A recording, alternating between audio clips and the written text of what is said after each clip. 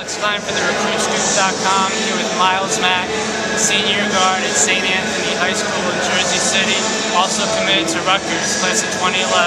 How are you doing today, Myles?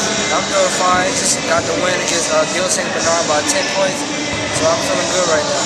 Talk a little bit about the game. They gave you a challenge at first with the great shooting. You guys came back, had the lead, played well, got the win.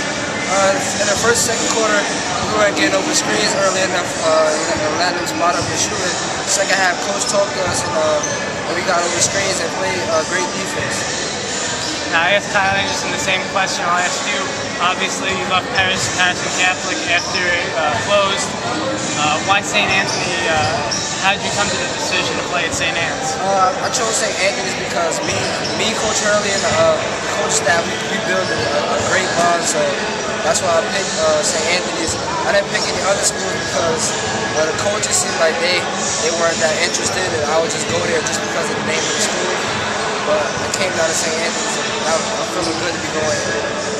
And how's the team looking so far? Obviously, a different looking team than last year. A lot of seniors left. Uh, how, how, are you playing? How's the team looking? Uh, the team's looking, we're looking okay right now. We have a little things to, uh, get better with, but that's going to come during the season. So we're looking good. And how far do you think this team can go?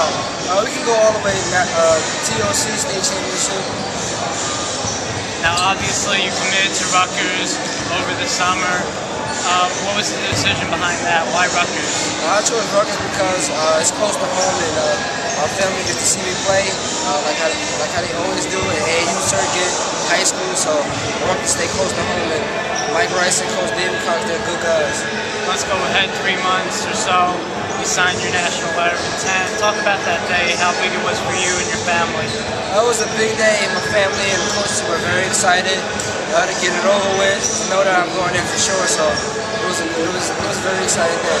That's great. Now everyone knows about you, your game. What do you want to be when uh, at Rutgers? Are you trying to be a point guard, shooting guard, combo? Uh, I'm gonna be a point guard for sure at Rutgers. Point guard you can shoot though. Yes. You got you got range. I'll give yeah, you that. Yeah, but today my shot wasn't falling that well, so. If it makes you feel better, I've only made one career three in middle school. Good team, it's all right. Lastly, uh, what's one thing most people don't know about you, Myles? That I'm a caring person and uh, I care for other people more than I care for myself. That's good to know. Alex Kline from RecruitScoop.com here with Myles Mack, St. Anthony Senior, going to Rutgers next year. Best of luck.